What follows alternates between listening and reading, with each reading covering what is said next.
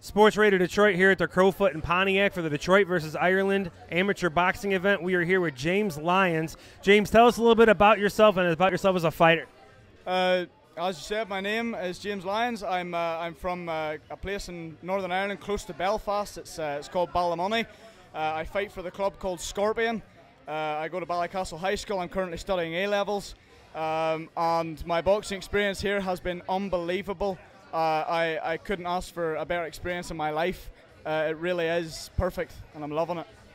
Well, it's wonderful to have you. I know we've done these events a couple of times. Uh, Detroit going over there, you guys coming over here. What do you uh, usually plan for? It's hard to see people out of international fights. You don't get a lot of tape on them. How do you prepare, not knowing what your opponent's going to have for you?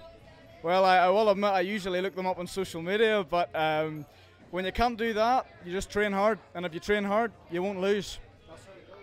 Wonderful. Yeah, it's a good game plan, especially in the amateurs. A lot of times there's a lot of guesswork, not sure who's going to be what and what kind of styles you're going to see. What do you have coming forward? Coming forward, I'm hoping to go pro at some point. I'm hoping to go pro soon. That sounds great. You seem like a really good fighter. You got a lot going for you. Big future ahead of you. Thanks for taking your time with us. Thank you very much. sounds good.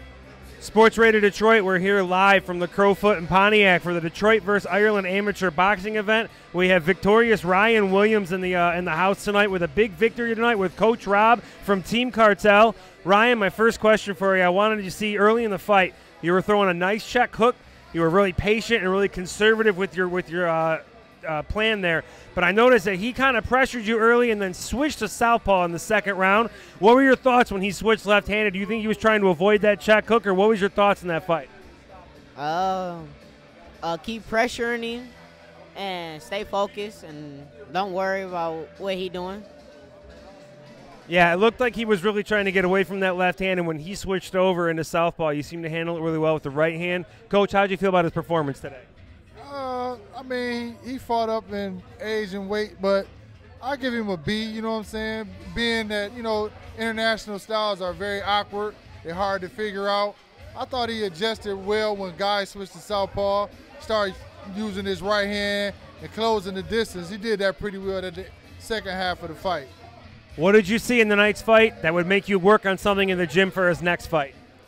Well, controlling the opponents more with his jab. You know, he try to load up with his check hook and his hook sometimes. Sometimes people don't be there for it, so you got to push with your jab. Sounds great, guys. Thanks for your time. And Ryan, once again, big victory today. Congratulations.